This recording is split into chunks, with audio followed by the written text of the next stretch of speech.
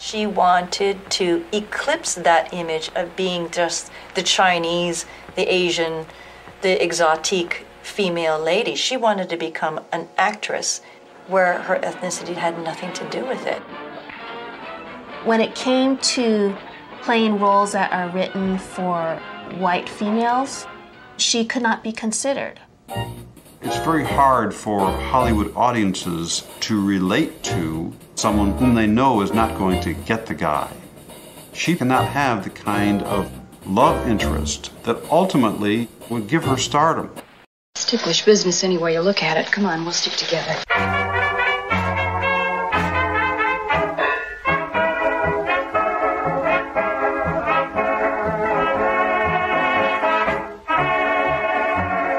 To Ticklish Business, the podcast devoted to honoring and deconstructing classic cinema. I am Drea Clark, and with me this week are, as ever, Kristen Lopez. And we have an incredibly special guest today. We're delighted to have her in general, but particularly for this film. This is, please welcome, Nancy Wang Yuen. Hello.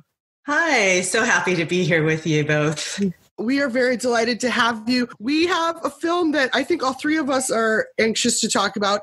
Anxious might be the best word for me because I've been looking forward to this so heavily since I've seen the film. It was a new one for me and probably not for you guys. And I think that blend of things is always welcome. The film is Daughter of Shanghai, and it stars the incomparable May Wong, who blew me away. And I freaking just love to see talented people do their thing.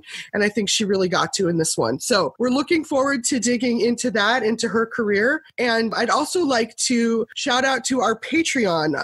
You may or may not know our road to 100 has been a long time coming. This is 100 episodes for Ticklish Business that we're going to be celebrating. And on Patreon, we have even more that we're doing to market, including two completely separate bonus podcasts, pins, and the return of movie watch parties. You can learn more at patreon.com slash ticklishbiz. And please join us there if you're able to. It is one of the ways we keep this going, in addition to just our sheer excitement over what we talk about. So, with that, let's dig into today. Kristen, why don't you pop off first and tell? I, I'd love to hear either your, yeah, how do you know? Have you seen this movie before? Is this something you were already psyched about?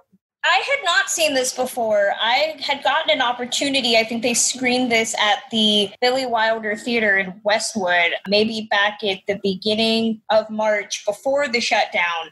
And I didn't go and I was very, very upset that I did not see this on a big screen. This is part of a tribute that they were doing for Asian Americans in Hollywood. So thankfully, though, I was able to watch this as part of Turner Classic Movies tribute to uh, Asian Americans in Hollywood, and in conjunction with having just watched the PBS documentary called Asian Americans, which Nancy did some great threads on Twitter about that. And so it was really a great amount of time for me to really immerse myself in not just May Wong, but the way that Asian American characters were portrayed in Hollywood and how Daughter of Shanghai is really an outlier in that sense. It's a story that is a mystery story about a Chinese American woman played by May Wong, whose father is murdered as part of this human trafficking ring. And so she goes undercover to solve the murder, stop the smuggling, and she's teamed up with a police officer played by Philip Ahn. And I had never seen that before. I had seen Anna May Wong movies. I haven't seen her silent output, but I had also seen a movie that the name escapes me right now, where she plays a fortune teller, and it's also a mystery story that was also a lot of fun. It was stereotypical in many ways, but it was again great to see Anna May Wong playing this woman of action who is allowed to have this narrative. And I really enjoyed this movie. It definitely exoticizes the locations, those those opening credits. It starts with a gong effect, which anytime you see that, you kind of have to roll your eyes. But at the same time, what it undoes about what was going on in Hollywood in the late 1930s is so revolutionary. Even though as you're watching it, you're remembering that I think this came right after Anna May Wong had been passed over for The Good Earth. So this was kind of a consolation prize, but it's such a good movie for her, and it just makes you frustrated that she didn't get to continue that trajectory.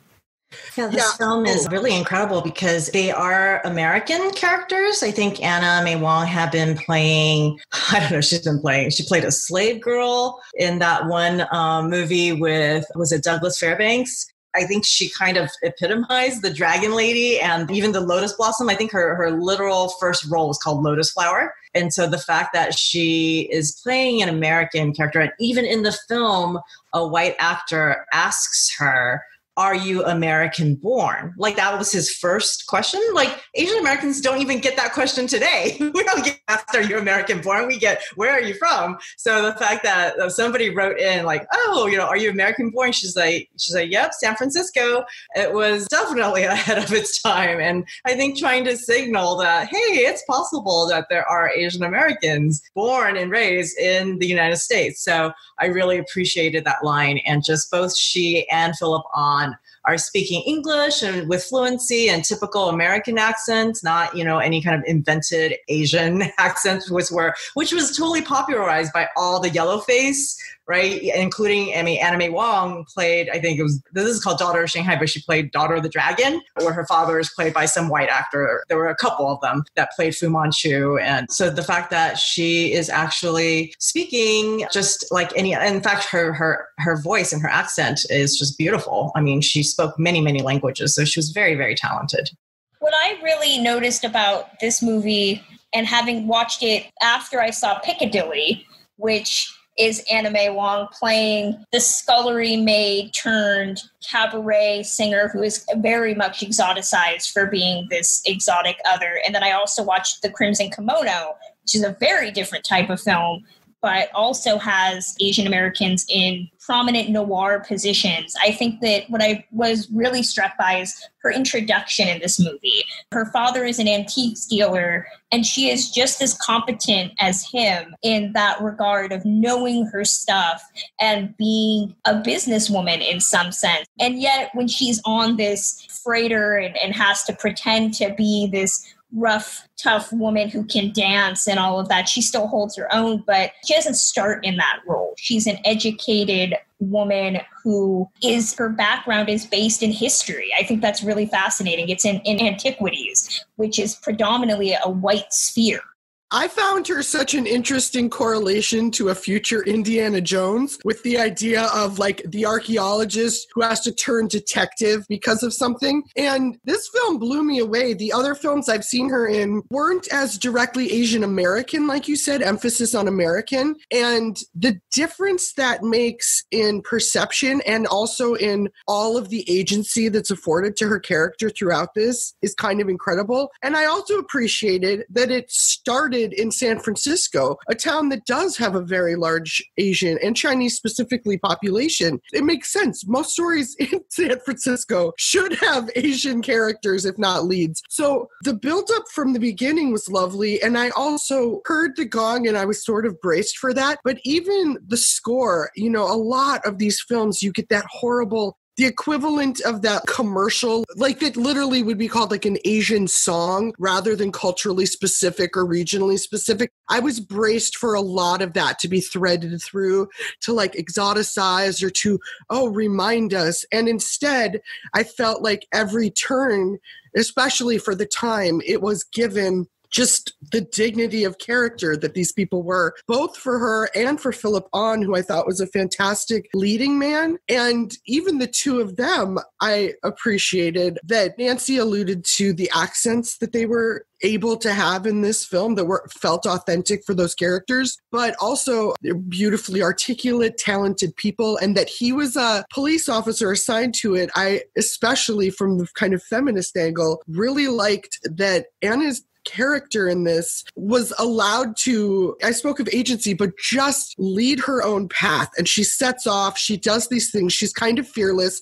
And what she undertakes, she gets to this place that's eventually sort of this dancing brothel a brothel that dances. And even that, I thought I was truly just waiting for like a horrifyingly sexualized fan dance or something. And instead, what she was doing felt both believable to whatever sort of dance experience she would have who, who knows what dance experience any of us have. But she just looked beautiful. It wasn't super creepy. You know, sometimes there's this thing of, oh, I get it. You want this character to have to like sexualize yourself, but what we're also doing is ogling her as an audience. And this I didn't. Like I felt she was given respect throughout and I mean, that would stand out to me if this film was made this year, which is pathetic because it should just be built in at this point. For this film to be made when it was and to have that threaded through was like, uh, I felt I was always like ready to cringe, and then the cringes didn't come. It was just enjoyment.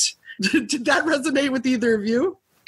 Uh, yes, I thought that actually what cringed me was the white woman dancing in some sort of Latin American context. I think she was because uh, the music was kind of in Agreed. that era, the kind of Latin American, the the Latin lover trope was so rampant, and to have this blonde white woman kind of dancing in this sort of trying to look Latin, you know, quote unquote Latin was the word that they used back then. It just was it was it was cringy, right? It wasn't it wasn't even that nice. Like she didn't even do it that well. So for Anna May Wong to come in and do this, I mean, it was still exoticized and had this like kind of like incense that was burning, which um, I don't know if that was there was some sort of symbolism there, but she was kind of hidden, and I and her identity was kind of hidden, right? Because she was undercover. It did feel like she was in control, and I think that that was because she took on that identity as dancer. That was the one that she decided to do, and she was always the one that was taking the lead. Like there were so many scenes. I mean, I've seen. I feel like all the shows now in movies, it's like when women and men are alone, there's going to be some like sexual assault or something. Right? was kind of, I mean, it's not going to happen in that era, but the fact that like, because she goes in the middle of the night to like sneak around and then pretends that she's asking him for a drink. And earlier he had grabbed her arm. Remember that? So I was just like, oh my gosh, something terrible is going to happen. But instead they just have a chat and he asks if she's American born. I mean, it was kind of a, an interesting scene where actually I felt like it was more forward than so many of the shows and movies I watch now where women are always victimized. So I think I found that very refreshing. The threat of sexual violence in this movie is weird because there's that scene where she does sneak in completely without guile and has that interaction with the captain that she's very very quick on her feet and then at the same time when she gets on the freighter and she falls asleep and her hair falls out of her hat and the guys realize that she's a woman and they immediately start attacking her and it becomes like this 15 on 1 fight those are moments where I kind of was like, Anna May, I don't think you thought this through well enough because that element of her femininity is what gets her in trouble. And at the same time, there's still this, as much as all the men you know, Philip Ahn's character tries to save her and stop it. It isn't until the captain, the white guy, shows up and says, Hey, what's going on? But this is a movie that definitely doesn't keep emphasizing her as sexual, but there is, I think, more of an uptick in fear of sexual violence than in other movies. And I'm wondering how much of that was related to the fact that she wasn't a Caucasian woman. Yeah, no, you're totally right. How could I forget that scene? that was so violent. but it was so interesting because she was dressed up like a man in that scene and just one hair falls out. I mean, it's like that could have been, like that could have been a cue. like, how did you know that, that was a that was a, that was a woman just from that? It was a very simplistic. I, I, thought I had to roll my eyes a little bit when she comes out with the, just her hat and her hair up, and I was like, if you don't think that's a woman, come on, guys. Right. I mean, I know Philip Ahn gives her a pass because he's trying to get her on the boat, but the other guy standing there, I was like, dude anybody can see that, that is a beautiful woman right there. She still has her stage makeup on. Yeah, she's this tiny, beautiful woman. Like I'm sure, I'm sure that hat is too. It's it's the Superman glasses all over again. Her um, hat was like a woman's hat too. it was like a right, like really a fashionable hat. It wasn't like yeah. a man's like cap, like the way the one that Philip Ahn wore. She was just like it was like she just decided I'm still gonna look beautiful. It doesn't matter what scene I'm in. I have to look fashionable. he sh- he should have given her his his hat. I loved the you know, speaking again of her and Philip Ahn's characters, I always have this habit of shortening their first names. Like I'm friends with them, like Philip. You know, when Philip is uh, doing this thing, but the when Philip Ahn's character and her interact, it's nice because there's several points when you kind of assume that they're going to sort of really start working together or something and it's much later i just she is allowed to be her own boss for so much of this movie. I'm honestly, I'm not a remake person, but I was like, oh, if someone please remake this, if only because I want to see another Asian woman be able to have this kind of agency. You guys, I do a do a have a drink on me every time I say the word agency, that it's consistent and that she just really calls her own shots. And going back to the beginning, you know, we were talking about the very detective structure of this, and her father's in antiquities, and he's sort of, he also is wonderful in sleuthing out this criminal element, and all of these people are being sort of, there's like a mob element, but they don't know who's at the head of it, and he's trying to track everything. And he has this ledger where he has been out there interviewing people himself. And and I also liked that the father was seen in this way of being proactive and a solid member of his community and like ready to stand up and fight for the good of his area. But also, they're captured, the father is killed, and she takes command from that moment on. Like she escapes a car where she's about to be thrown into the water the action in this film was the other thing that I was not expecting. And you guys, I know, shun me or strike me with lightning whenever I say remake, but I was like, this is an action film with this great female lead. Like, why? This is, we remake all sorts of really terrible movies that could be very easily avoided. But come on, they jump out of a plane at one point. No, they don't jump out of a plane. They hold on when she and Philip Ahn are finally escaping. There's just all of these fun, interesting beats, and they all tie back to the other thing that I love in talking about the female empowerment of this movie for the good and the bad. One of the threads that we uncover the whole time is there's this very small nod at the beginning. There's this other wealthy white woman in the area. She's befriended their family, and they're actually on their way to a dinner at her home when the car is is ransacked and then the fathers killed that night and they end up there and in the very subtle reveal that's hinted early on. And I'm sure any woman watching, when someone says, there's just a small thing early of like, I feel women knew instinctively, oh no, that woman, she's the big bad. But then it doesn't, of course, come out till the very end. But there was also something wonderful about that, that it's not the creepy guy who runs the brothel and like does the, it's, there's a woman who's running this whole enterprise and calling all these shots and is terrible. And like that reveal as well. I was telling you, I mean, I've been waiting for two weeks now to talk about my love of this movie. The amount of times I was like, yeah, that's how you do it. Well, no, you bring up a lot of really good points. Uh, you know, this was directed by Robert Florey, not a big name in terms of director, predominantly known for helming nearly every early television show that a, an actor did. You know, Loretta Young show, he did Jane Wyman show. He's best known movie wise for helming The Cocoanuts with the Marx Brothers, which is a very different movie than this one. But the script was is credited to Gladys Unger and Garnett Wilson, both of whom died relatively early in the 1940s. Gladys Unger, this was her last completed screenplay before she passed away. And then Garnett Wilson would also retire from films relatively quickly in the 1950s, but was best known for bringing the noir element. He was the man behind a lot of the Bulldog Drummond scripts, so you can see where that element came from. But you're totally on point with Cecil Cunningham's character, Mrs. Mary Hunt. I think that the minute that character drops the artifice, her face changes, she drops the smile, she starts talking kind of like a hooligan. It's different because if you have watched a lot of villainesses of the 30s and 40s. They're particularly masculine. You know, I think of the 1940s women in prison films, you know, where everybody is kind of coded as lesbian. There's not that here. There's nothing masculine about her. She is specifically weaponizing her role as a white, wealthy woman to traffic humans. And I think that's the shocking thing. This movie opens with a young Anthony Quinn playing the co pilot of this plane, and they're going to be caught by an airplane, and they decide to quote unquote dump their cargo, which we find out we actually see them dump humans into the ocean. And that's really the stakes of this movie. The movie doesn't dwell on that, but that's unignorable as you watch this movie. What they're trying to stop is the illegal trafficking of humans, something that in 2020 we still see in so many ways. And that's shocking to me.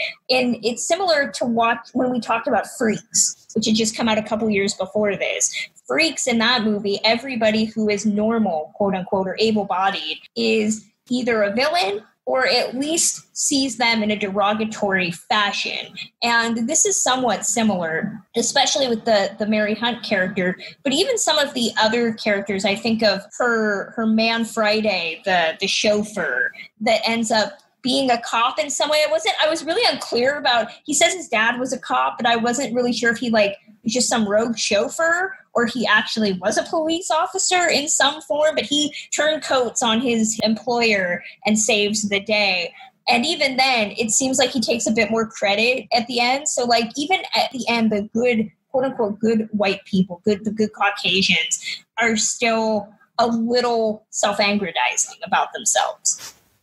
I think that yeah, you bring you bring up Anthony Quinn, and it's probably one of the most diverse films of that time because you have Anthony Quinn, who's Latino, and then you have a black manservant who actually is not very I didn't feel like, I mean, he's obviously still stereotyped, but it wasn't as bad as it could have been. He was seen as loyal and good. And he had some lines that were zingers about, like, you know, why can't we get a really nice car? Why do we have to take a and taxi he, so I can he drive? He doesn't talk in that affected accent that a lot of, unfortunately, black performers had to speak. Yeah, so you have actually Asian, Black, Latinx, and that one chauffeur slash ex police officer, he was a white ethnic character, right? I think he was very obviously Irish. And so that's something that I think was probably meant more back then than it does now because Irish, you know, as maybe people of uh, people who know about immigration history, they were not seen as white for a bit and they were actually excluded from businesses and they were seen as second class. And so to have a white ethnic character be an ally to other characters of color is actually historically interesting. And yeah, and I think that this movie, because it has a female protagonist and an antagonist, actually more than passes the Bechdel test in terms of speaking. I mean, romance wasn't even brought up until the very, very end. We're going to talk about that romance angle at the end because that was the the one slight against this movie that I had. Agreed. I think that it, came out of nowhere. Well, well, she has to get married at the end for it to work out. But the, the one redeeming thing is that they actually code switch into Cantonese, and it's like authentic. It feels like okay, they are Asian, they're Chinese American characters, and they're they're speaking, you know, with a typical American accents. And at the end, when they're actually going to talk about something very very intimate, like do you want to get married, they actually code switch a little bit, and and I felt like that was actually really revolutionary to see that on camera. But yes, the kind of feminist, like why would she have to get married? And it doesn't, they don't actually build up their romance um, at all, which if they did, maybe it would have made more sense. But yeah, what, what do you guys think about the, the relationship? It, yeah, no, it's interesting because I also just have to, Philip Ahn was so dreamy in this, and I would have been I mean, not to just like sexually objectify all of the actors we talk about, but actors are often pretty dreamy, and he is no exception. So I would have been delighted to have a little more of like that spark between them throughout. However, I was such in deep enjoyment, as you know, of her being able to be this very individual and self sufficient woman. And a lot of times, as soon as there's like,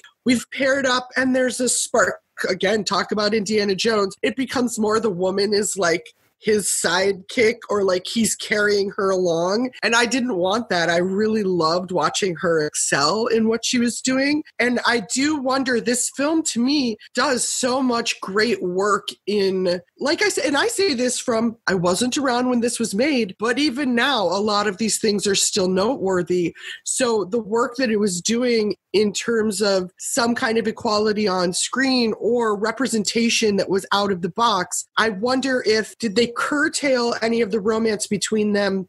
I want to think it was to keep the attention on her as a strong character, but there's always the concern of, oh, did you do it because the idea of these two Asian American leads flirting or being sexualized romantic didn't fit whatever like were they asking too much of an audience or something you know horrifyingly obnoxious like that? I don't know. I would have really liked them to flirt so i could have seen it and also because that ending i was like um what then? Who's getting married? Why? Like was very out of nowhere. And also she doesn't need to get married. She can escape a moving car. She's fine.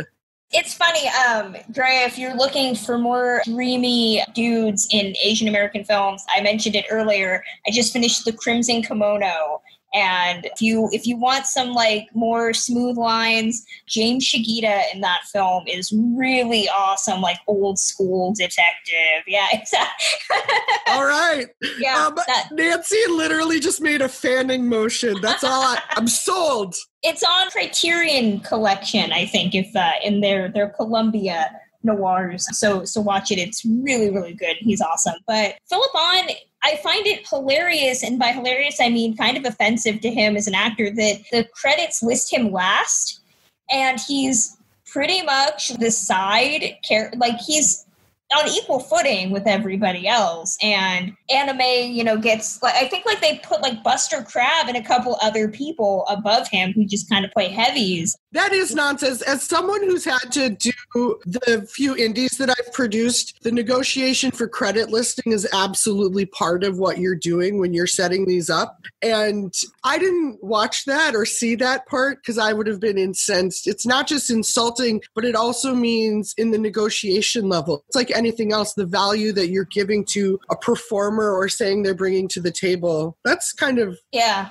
incredibly disappointing. well at the same time philip ahn you know and i got all this off of the courtesy of pbs their asian american documentary but they did a whole section on philip ahn who was kind of a controversial figure because he was a korean actor who this is one of the rare films that he got to play kind of the, the leading man dashing figure but when i believe it was japanese internment started many different groups of, of asian americans who were not japanese but chinese american korean american essentially did whatever they had to to portray themselves as quote unquote good Americans. And Philip Ahn became the representative of the bad Japanese person in different movies. He would play the villain in World War II films and, and stuff like that. He made a career out of playing specifically Japanese baddies. And that caused a lot of controversy, especially later in his, his legacy. And it's a shame because I think he's really got a good charm and charisma here. He's got good chemistry with with Anna May Wong. You can believe that he's a police officer. He's a man of few words, but like who hasn't seen a police officer character in a movie that's not known for being like light and jovial? You know, not every cop needs to have a wisecrack handy. And I think that works. You know, he works in a way when he's in that little cap and the black sweater and he's like investigating. He's like John Garfield. You know, he's like any A-list actor that's kind of doing doing a part and I know that when I watched the Crimson Kimono intro with Nancy Kwan, she talked about how it was a lot harder for Asian actors to sell themselves as leading men than it was Asian actresses because it was easier to sexualize, I guess, an Asian woman than it was to ex- you know, I don't know what the exact specifications were, but a lot of Asian American actors never really got to be leading men in this capacity. Nancy, I know you. We didn't bring it up, and, and I want to because it's it's fantastic. You actually looked at inequality in film. You wrote a book about it. Can I actually go back to Philip Ahn a little bit? Yes, please. Yeah. So, um, so I actually participated in the Asian Americans documentary. I actually spoke on Anna May Wong, and actually I was interviewed about Philip Ahn, but I it didn't make it to the final. There was so much. I also talked about Merle Oberon. So there was a slew of classic Asian American actors. Um, now I just need deleted scenes, please, because I want to see all that. so Philip Ahn, his father, and, and in the documentary they talk about this. His father was a revolutionary in Korea. Korea was actually in war with Japan. And so Philip Ahn intentionally played these Japanese villains as part of the propaganda against Japan because we were at war with Japan. And he saw it as his duty because his sister, oh gosh, what is her name? Uh, Susan, Susan Cuddy, uh, Susan, Susan Ahn Cuddy. She was like a, she was in the military and had a really high rank and was fighting in her own way on behalf of the United States. So they were uh, very much involved in the way that they could be in terms of patriotism. And so that was, I mean, Philip Ahn has a very colorful background and family. And, and so I, I wanted to say also that the marriage thing, I think that one of the reasons why they got married is because I'm guessing, because May Wong never got to get married in any of her films because of the Hays Code, right? Because even if she was the object of uh, lust or, you know, in some sort of her first film, it was sort of a Madame Butterfly story, she just always never got the guy and usually died by the end. And so I think the fact that she and Philip could actually have that marriage, even though by today's sensibilities is kind of strange and maybe even problematic in terms of her own career and ability to kind of get married in one of her films. And also like she never married in life and partly because of the uh, i mean there's lots of reasons probably why but the anti-miscegenation laws. And she was so kind of modern and had her own career. She didn't want to have the traditional marriage. And and also there were talks of that maybe she was queer as well right? And so we don't know uh, we don't we'll never know what her what her kind of sexuality is. But we know for sure that she never got to get married in most of her movies and so this perhaps was something that she wanted I'm so glad you brought that up because, of course, I remember that in the back of my head. And when we're talking about it, yeah, the idea, again, it's if you're a modern audience member and you're not cognizant of those things or film history, it's ludicrous enough that an interracial couple wouldn't be able to kiss. But that said, look how many, we're only now seeing more interracial couples cast as leads anyway again however many decades later. So but the idea that it was built in as law that is fair. I will give that up. The idea that she wasn't even allowed to have this kind of she could have the romance of it but they couldn't kiss and they could she couldn't interact in a very believable loving way with her co-stars so often if they were white actors. And that's yeah i'm so glad you brought that up. And also philip Ahn we've seen a lot of times of different nationalities all playing like oh you're asian so you can play korean you can play japanese you can play chinese. And there's something interesting there because of course you want actors to have the fluidity of taking on a variety of roles. It's certainly like for white people like i'm of english descent but i can play swedish like they're fine you would hope that someone would have access to a lot of possible roles but there's also the whole thing of seeing an entire people as a monolith and not knowing, like the idea of Japan and Korea having tensions, particularly at that time, and all of the subtext of what it could mean. And the idea of Philip Ahn taking on these Japanese roles as a way to honor his own heritage and an ongoing problem. Like that's, it's just such an, a rich texture of things. And what people are bringing to the table when you're not exploring them is it's such a loss to not be able to dig into things and really get to that. I didn't know. I mean, I was obviously aware of the Korean Japanese conflict, but the idea of, I don't know, Philip Ahn's family or all of that, like, that's such a great angle of history. So thank you, Nancy, for that.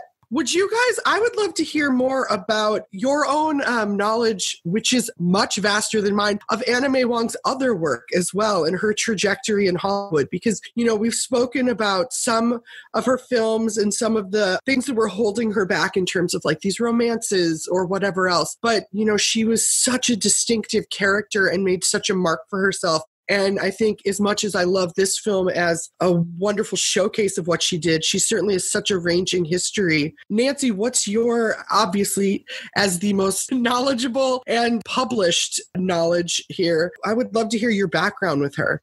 So, my research is actually on contemporary actors. And so, learning about her and seeing all the beautiful photos and footage of her. And then, I think what stands out about her is that there were so many obstacles. I think I love this film because I think this is one of the few films that actually showcases her well because most of her roles, like I said, are dragon ladies, you know, just women who kill themselves, you know, for no apparent reason except that she's Asian and she can't live throughout the whole film. And, but then she was was very outspoken. And so this is what I love studying um, actors of color because I think for that time, she was incredibly defiant in her interviews. Like she said things like, why do we, you know, Chinese who have a civilization so much older than the West, why are we always seen as the villains? Right? And so it's like and she would joke like on my tombstone i'm going to have you know died a thousand deaths because that's what happened to me. So she was humorous. She was she didn't hold back on the fact that yeah that she didn't want to take the concubine role when she didn't get the main role in the good earth because it's like, why should I, the only one with Chinese blood, play this like, you know, villainous role and also a minor role? So she was very outspoken which even when I was interviewing actors of color, a lot of times they didn't want to speak out because they were worried about their careers. And I think as the first Chinese American actress, she didn't, I mean, she probably already thought, what more can I lose? I'm already not getting enough roles. And so she was probably one of the first international stars. She was the first international Chinese American star, where she then went on to Europe, where, you know, Kristen talked about Piccadilly, right? Where she went to Europe. She also went to China. She tried to, she had a cabaret act in Europe. So she sang and she had, she knew multiple European languages. She picked them up. And so she was very much a self made woman in an era where, if you see her films, she's stand out but the characters themselves are all heavily stereotyped. So she really just did so much within a very, very limited capacity. Well, and it's amazing too. She started working in films at the age of 19 and dropped out of high school to become an extra. And you know, when you look at the accomplishments that she made, she was one of the first women that I know. I'm sure there were other women, but certainly the first Asian American woman to form her own production company. You know, she's formed Anna May Wong Productions, so that she could make movies that, that she wanted to make. But so much of the Hays Code prevented her from doing anything unless she could find another Asian man in the US that she could kiss and, and stuff like that, which is why, again, I keep shilling for the Crimson Kimono. Watching that movie in 1959, where you have an interracial relationship, even then, the, the kiss is reserved for the last 30 seconds of the movie in case somebody objected and they had to cut it. So even by the late 50s, there was still this hesitancy to portray interracial relationships between Asian Americans and Caucasian performers. And I think that that's shocking for a lot of people to hear because for a long time, you know, the Asian community just in general, you know, there's this there's always been this controversy because there is that element of well, they're still white in, in the sense that they're not dark pigmented and where that relationship has been. And again, please watch the Asian Americans documentary because there's an insanely frustrating and intelligent story about how Indian Americans from India would would try to dissociate from being labeled black because the worst thing was to be black on the spectrum. And so they would try to be, they weren't Caucasian, obviously. They weren't white enough to be white people, but they still had that extra. So the way that the taxonomizing of race and ethnicity in America is just insane and how long it went on how long it i mean what what we still see today what we're seeing right now it's nuts for lack of a better word and Anna May Wong i think is always going to be the representative of the the woulda coulda shoulda you know we have ryan murphy's hollywood right now which attempts to kind of showcase what might have been had May Wong been allowed to have those leading roles and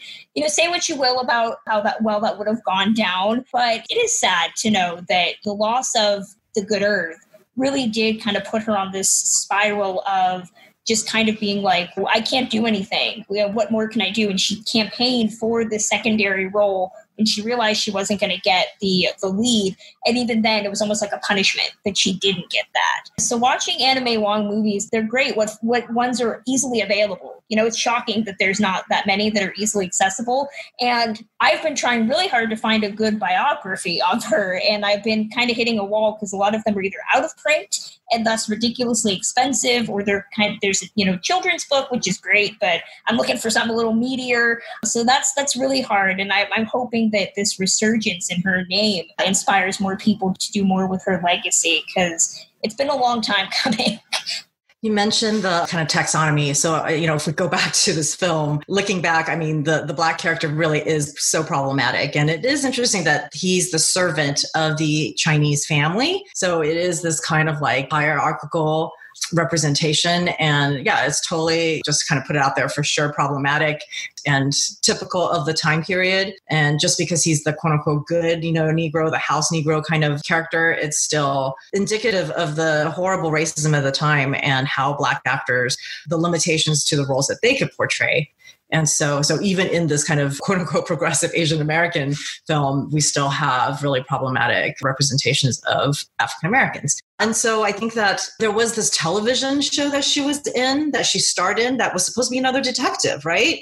And and actually it, it aired on television, but the these this footage, I mean, I feel like there needs to be a biopic on May Wong because this footage all like got apparently got tossed into the ocean. That entire TV channel, uh, it was a du, Dumont, was it called? Um, anyway, I, yeah, I think like it was. Was it the Gallery of Madame Liu-Tsong? That's right. That's, that's right. Yeah, and from so, 1951. Yeah. Yeah. So she had this show, which was again crazy revolutionary because what Asian American woman has her own TV show, but we have absolutely no evidence of it. We just know that it existed and that she was supposed to star in a flower drum song, right?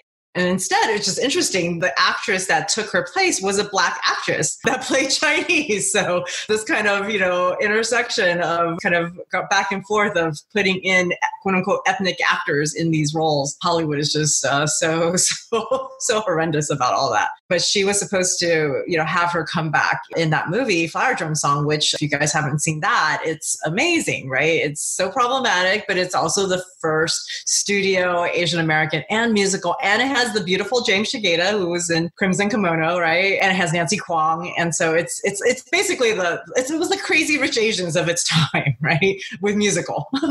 so, but, I mean, the songs are all you know they're all through a white lens. So, uh, but it was actually the story was based on a Chinese American novel about San Francisco. So I, I think of it as that tracing that to Joy Luck Club, tracing Joy Luck Club to um, Crazy Rich Asians. These kind of, you know, the, the source material is actually Chinese American. And then the director, at least of Joy Luck Club and Crazy Rich Asians, are also Chinese American. You can see the difference that, that makes compared to Flower Drum Song. But Flower Drum Song has to be seen because it really was, I think, one of the first times you see a variety of Chinese American characters, some with immigrant accents, others with American accents, and kind of this east west tension, generational tension, and catchy music, I guess, for the most part.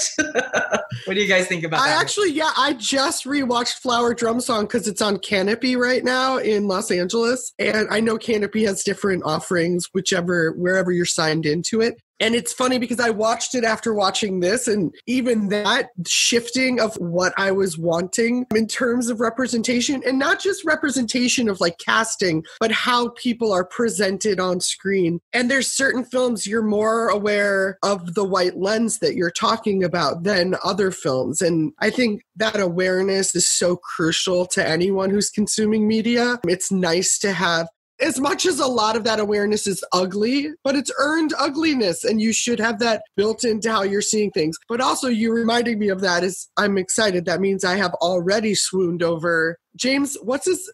Who's my new boyfriend? James Shigeta. I can't wait. I can't. I'm going to be like, oh, that guy. Love him. Which for for modern audiences, in case you're curious, you might know him as Mr. Takagi from Die Hard, the first one. Did not know that until I googled, and I was like, oh, really? Okay. That's uh, really so, throwing yeah. my crush for a loop. Bill Bond was in uh, Kung Fu, the series, the the one with with Carradine. No. so, yeah, so I mean, you know, the the the older act, the classic actors make their way into future stereotype shows, and uh, yeah. Well, I mean, Die Hard is like whatever that is. But, um, Die Hard's its own thing.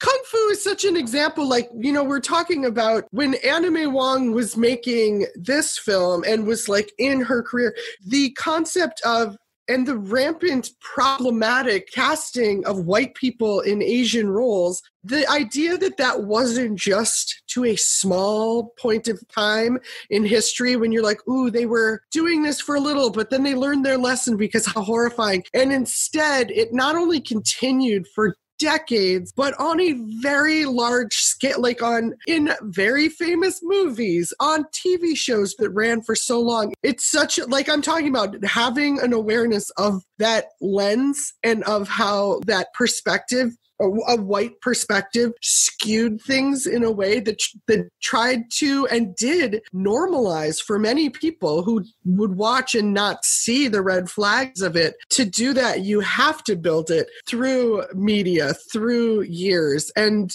i just can't imagine putting that much work into trying to do something terrible well, it's um, it's important to point out. I mean, we've had so many examples of bad Asian representation. I mean, of course, everybody's go-to nowadays is Mickey Rooney, in Breakfast at Tiffany's. But I mean, I was just watching Austin Powers, the third one, and they have, you know, sexy Asian twins, you know, dressed up as schoolgirls with weird names and like, ha ha ha, that's funny. And that was from, you know, the early 2000s. So, you know, I say this a lot when I say this about dis- whether it's when I'm talking about disability representation or representation in general, media has such an important role in shaping how we learn about people who are not like us.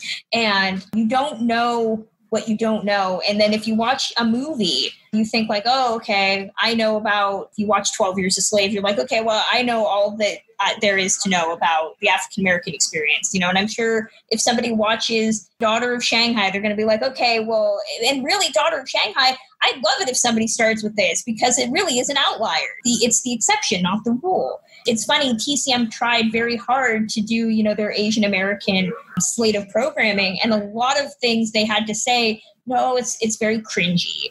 It's very cringe inducing you know they showed um, love is a many splendor thing which i've seen and if you haven't seen it you don't need to. It's just a really good theme song and you know that's it. But it's it's jennifer jones doing yellowface in this tragic love story with william holden. And i feel for the tcm peeps because they're stuck kind of having to put these movies in context and say like when you're showing so many movies I, I was so happy that they were able to show exceptions to this positive examples and not just have it all be look at katharine hepburn doing yellowface look at this person doing yellowface you know they're able to find those exceptions exist and the sad fact is is that especially for some studios, you know, there's no value in their classics already, let alone the classics that can maybe teach people stuff. There's never been, if I if memory serves, a proper Anna May Wong box set you know, several of her films, unfortunately, are not available on DVD. I think most of her silent output, most silent films are missing, but I think a lot of her silent stuff is unfortunately not available. And it's sad because I think a lot of people will watch classic films or watch any film about the Asian American experience and just think that it's, they've learned that, oh, it's just stereotypical terrible yellow face internment World War II. Like that's it. Those are the beats. But unfortunately, I don't think Hollywood does a lot today to really shy away from those things. Nancy, what what do you think? I think we need uh, more Asian American generated content, right? That's the stories that are coming out of the community. And that's what's amazing about the documentary series is that the producers, the people, the talking heads, actually, mo- most of them are Asian American women and historians. And I'm the token sociologist. And, you know, the music, the, the score, everybody involved are Asian Americans. And actually, after watching the first part, we, I had like a, a talk with a lot of Asian Americans in the community. And they were talking about one representation that was of of someone who actually was a sort of a spy, and they were like, "Oh, what, what's the general America going to think about Japanese Americans?" And I just thought, you know what? I think that this documentary was made without that gaze, without the intention that this would be seen that that's intended for a white audience that actually is intended to tell untold stories for the community and I thought, like, we don't have to worry about that because we've been worrying about that all of our lives, right? And I think that that's the difference between content that's actually coming from the community, by the community, for the community, story about the community. And I think that, that as long as we have a wide breadth and depth of storytelling that we don't have to worry about who is the intended audience because you know that's when we know we're free that we can just tell our stories and not have to worry about an intended audience even though i know hollywood is all about that kind of market. But now we have such a diverse audience and also a global audience right? Especially with all the streaming sites distributing globally. I think that we just need to tell good stories and tell untold stories. I think we just want new content new stories. And there's so many untold stories within the Asian American community, both fictional and historical.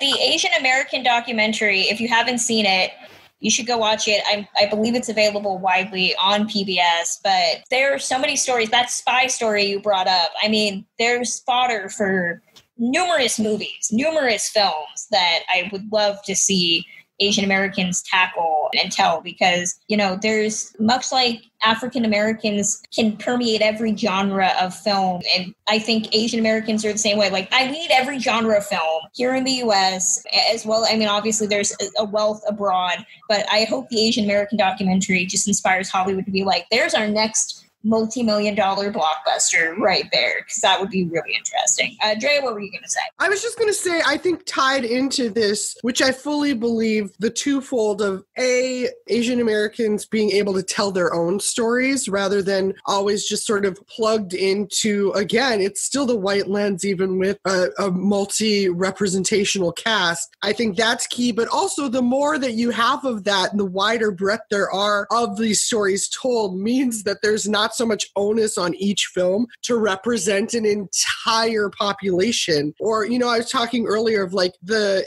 ill conceived idea of a monolith. Like, even just using Asian as a phrase is sometimes, to me, worrisome of, huh, I'm putting this whole swath of Asian identity as if my Japanese friend whose mother is French has the same life experience of my friends who are like fifth generation Korean Americans. And like, obviously they're not. So the more that's out there and the more widespread you get it, the less there is a make or break moment on any single film.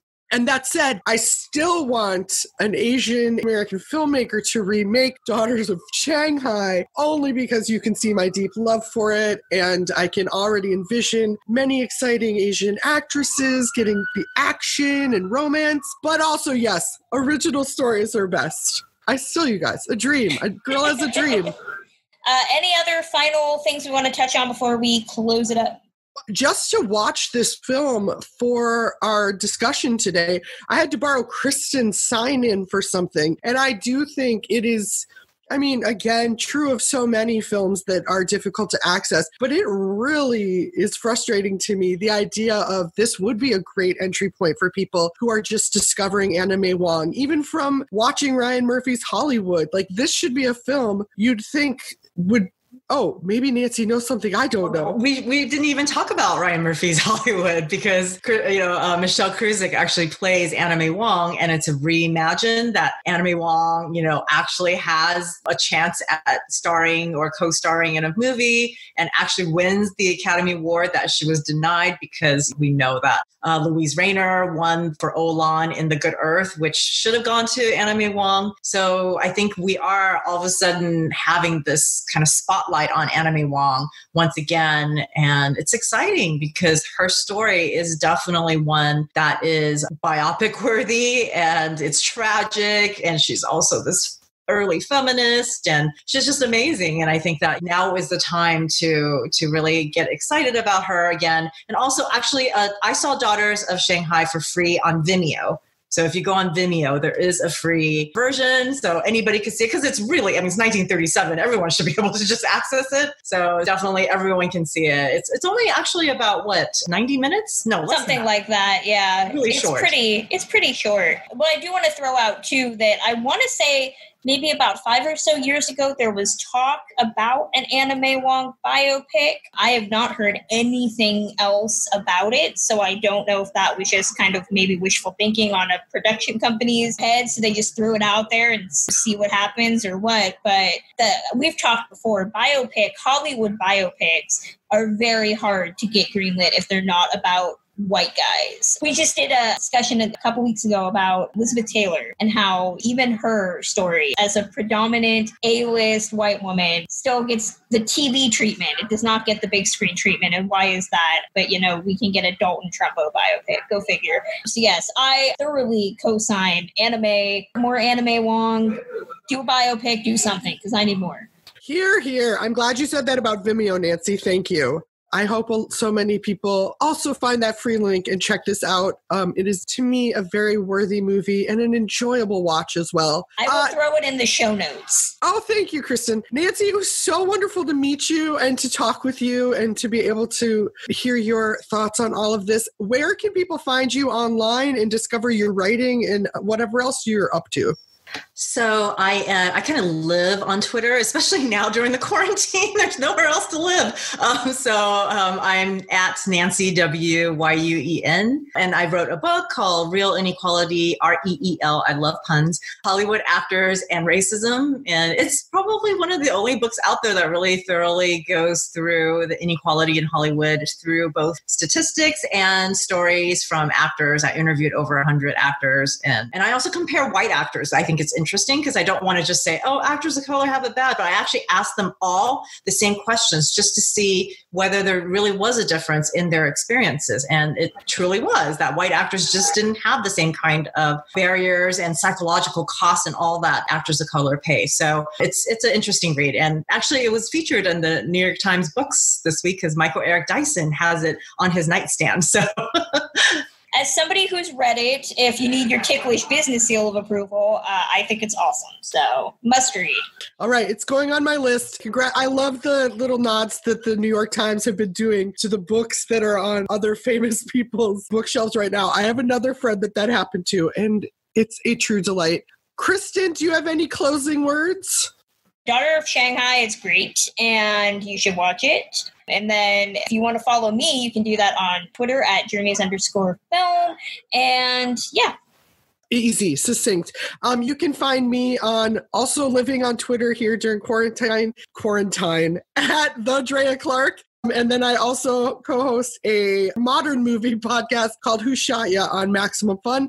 I'd like to say such a double thanks to Nancy Wong Yuen for joining us today. That was delightful and you brought so much to the table and I can't wait to read your book. And that closes out this edition of Ticklish Business. You can find the podcast on Twitter at ticklish underscore biz. You can find me at the Drea Clark and you can download Ticklish Business wherever you get podcasts, Spotify, Apple, Stitcher Radio, Player FM to name a few. You can also get exclusive pins, early episodes, and entirely new shows on our Patreon at patreon.com slash ticklishbiz yeah, and as always, we will be keeping everybody posted on what's coming up with our Road to 100. We are going to be talking next episode about Judy Garland's 1954 magnum opus, A Star is Born, with another very special guest. So, until next time.